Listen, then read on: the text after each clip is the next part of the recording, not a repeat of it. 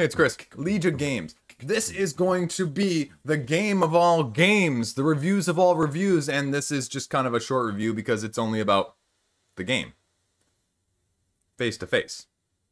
Face to face? Face to face. So, this is the latest release from Pandasaurus in terms of iterations of the game. If you're not familiar, let's talk. If you are familiar, let's talk still. What do I think of it? How does it compare? What do you need to know? Pros, cons, everything in between? Yeah, that's right. I'm still putting it in my head, even though it's small. Let's do this. So, this is the game, right? Horribly titled, difficult to find when you're looking up, I want to play the game, I want to buy a copy of the game. That aside, I mean, I've talked about that and discussed that enough. I'm sure other people have too.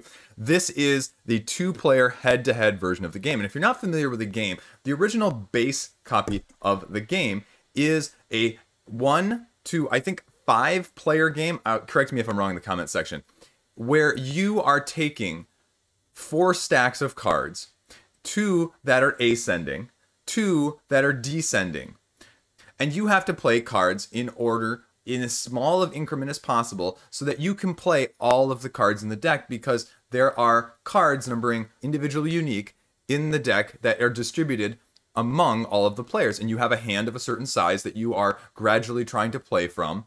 But being careful because you cannot communicate or the communication between players is very limited so therein lies the challenge. How far do you have to go with these cards? Because subsequently you have to play cards on your turn. You have to play two cards per turn, no matter what, on one of the said piles. Either the ascending or the descending.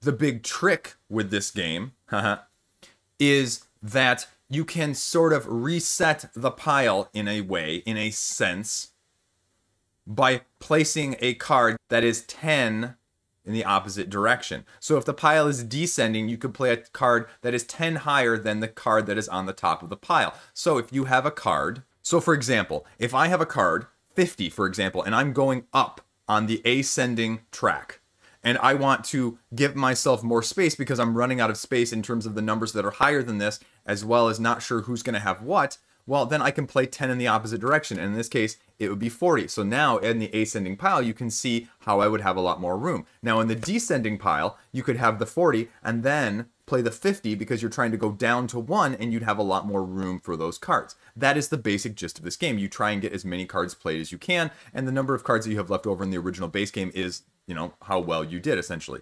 So now that we've got the two player version, and again, this is cooperative in the original version, this is head to head, face to face, competitive. So, how does that change?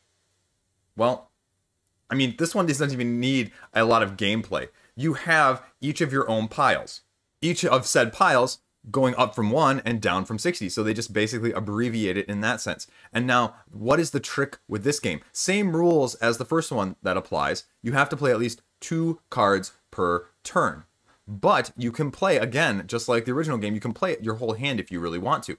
And the trick here is that you play as many as you can on your own, but you have the option to play one card resetting the other person's pile in the way that's going to help them, the opposite manner in which I just described.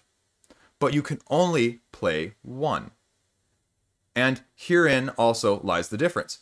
If you only play on your own stacks, you only draw two cards at the end of your turn. If you help your opponent, you can refill your whole hand up to six. And that may sound like a positive, that may sound like a negative. And you're right, because it's both. Because if you can ever not play two cards on your turn, just like the original game, you lose. Otherwise, it's the first person to finish their full stack. That's it. That is the whole game. The game. Face to face. So what do I think? I think the first time we got it to the table, it was surprisingly, ah, we're just kind of going along, going along. And then all of a sudden, the light switch kind of goes off halfway, three quarters of the way through the first game. Like, oh, all of a sudden, this is a rush. Like, unlike the original game where you're sort of trying to play as few cards as possible, in this, it is a balanced race, essentially, trying to play as many as you can trying to help out your opponent because that's the way you can refill your hand faster. Because if you play only on your own, you're going to be SOL because you're one, you're not going to go through cards as quickly, potentially, and you're not going to refill your hand as quickly. So then you can be left with very few cards in your hand and very limited play options, potentially making yourself in a very difficult situation or even an endgame situation way too early. But it's also balancing being aggressive enough that if the other person is being able to play more, you may just have to play catch up and be aggressive on their piles and help their piles out significantly. And when you choose to help their pile and how much you choose to help their pile or which pile you help out is really the make it or break it. And there is a little bit of luck involved with that. I mean, obviously, this is a card game where you're shuffling and you're drawing and you don't have a whole lot of mitigation. There's only six cards in your hand. So you just need to be aware of that. But did I like it? Heck yeah, I liked it. This is a game that you can easily play in like 10 15 minutes once you get the hang of it, probably less even potentially. You can tote it around with you. I mean, the one thing I'll say about this is it's not superfluous. This is what you see and what you get. You could put this in your pocket, two decks of cards, boom, there you go. Pull it out in the restaurant, boom, bring it on a camping trip. Play it with almost anyone that's going to understand this concept. It's not hard, but the nuance is there enough. I mean, I say all of that, but you may think, okay, well, he was just destined to like this because he really liked the game in the first place. Yeah, I do really like the game in the first place. I think it is an ultimate introducing people to this hobby style of game. And I think this is a great two player version. But I'll be frank with you when Pandasaurus said they'd sent me a copy, I kind of poo pooed it. I kind of was like, nah, okay, this will be interesting. And if I don't like it, I'll just throw it on the trade pile or something. I'm not throwing it on the trade pile. I'm keeping this. I'm keeping this. This is not going anywhere. Is it the best game? No, it's not the best game out there. Like, your hardcore gamers are not going to like this. But do I like this? Does it fit my needs? Is it something quick and easy I can play with my wife and we can go and bring it wherever we want with us, wherever we're going? Yeah, absolutely. Am I surprised by how much I like this? Yeah, I really am. Like I said, I wasn't expecting to like this half as much as I do. And for the price that something like this costs you nowadays, like 10, 15 bucks, whatever, it's worth it. And that's it. I mean, this is going to stay in my collection, however you want to score that. Again, it's not a perfect game. It's a heck of a lot of fun, though. It's a little bit more thinky than I was expecting, and that in a good way, though. And a little bit, a little bit too thinky, depending if you are prone to a little bit of AP. I could see it happening with this, but it's it's a tight race to the very end, head to head and then you play again.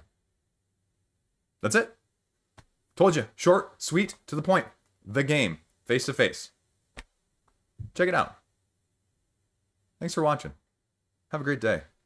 Stay classy.